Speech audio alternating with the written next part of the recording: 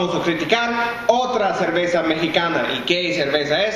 Y un- es una de las más famosas cervezas del grupo Modelo y es Negra Modelo. That's right, guys. You hear me speaking in Spanish? You see the Mexican macro beer in front of me, so you know what's up. It's time for another Mexican beer review on location down Mexico way. That's right. Now, Grupo Modelo, which is now part of AB InBev, was originally out of Mexico City, el DF or Distrito Federal of Mexico. But now they're owned by the bigger boy. So I guess the bigger ate the bigger and the macro ate the more macro.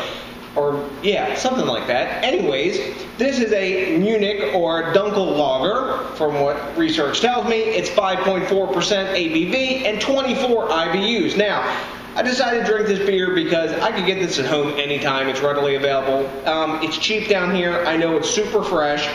And also, I would probably never buy this at home because there's so much choice and so many better beers out there. I really don't buy macro beers for that reason because I want to, you know, discover new things and look into other stuff. But since I'm down here kicking in Mexico, why not, right? Yeah, maybe. Uh, anyways, it doesn't matter, does it? It's time to pop the bo- top bottle top on this, get in the glass, and tell you what's up with the Negra Modelo. That's right.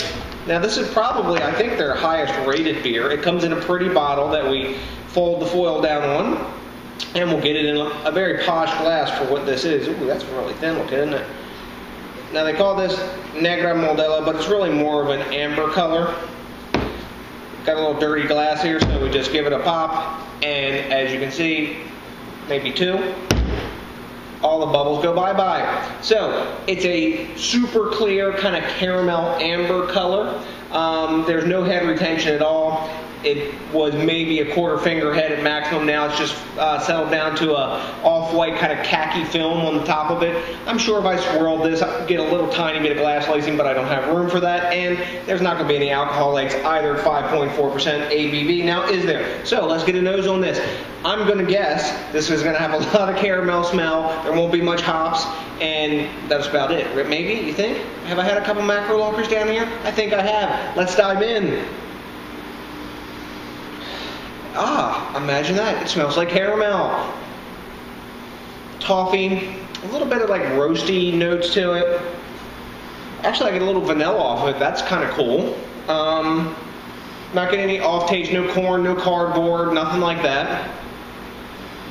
Just a lot of sweet and maybe the faintest bit of floral hops in the background, and that's it. So I'm right thirsty, which is probably the best way to drink this beer when you're thirsty. I'm diving in. Cheers.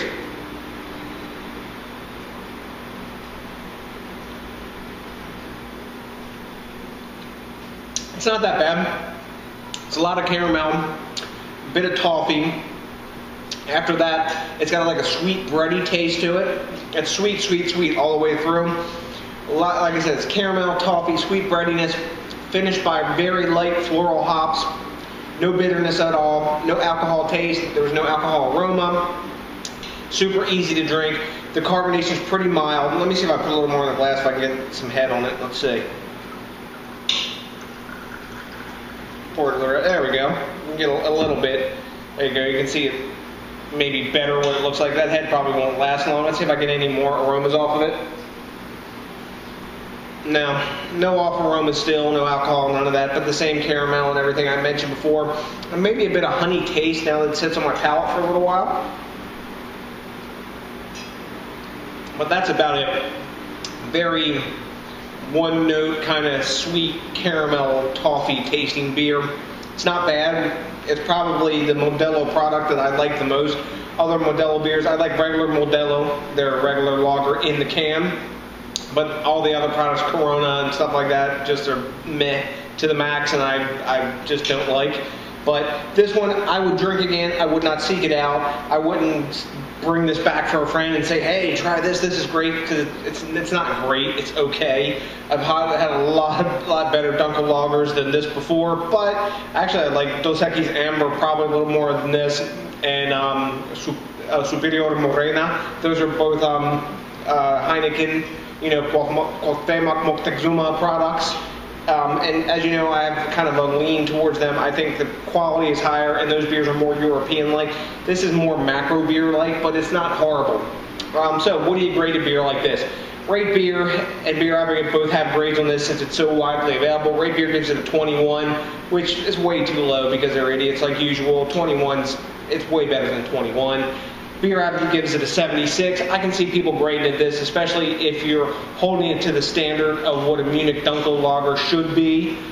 Um, I'm going to give it a B minus. I'm going to give it an 82. It's a good beer. It's nothing I would seek out, but um, I would have it with dinner down here. I would buy it and probably drink it again down here. But back in the states, I would I would never seek this out. And also, you pay a premium there. It's quite cheap down here. It's less than eight dollars a six pack down here. But at home, it's more expensive because it's an import. So that's my grade on this. If you've had it, maybe this is one of the few beers that I've reviewed down here that you may have had. Um, let me know what you think. I like to put pro quo in the back and forth. So, to the next DJ's BrewTube, thanks man to each and every of you guys for watching. Remember to think locally, drink locally, and support the craft beer movement, and maybe not the macro beer movement so much. So, till then, like I said, remember to rate, comment, subscribe, and hit that like button. And till then, I guess I got nothing but some macro beer drinking ho hums for you. and a big, you know what's coming? That's right. Peace out!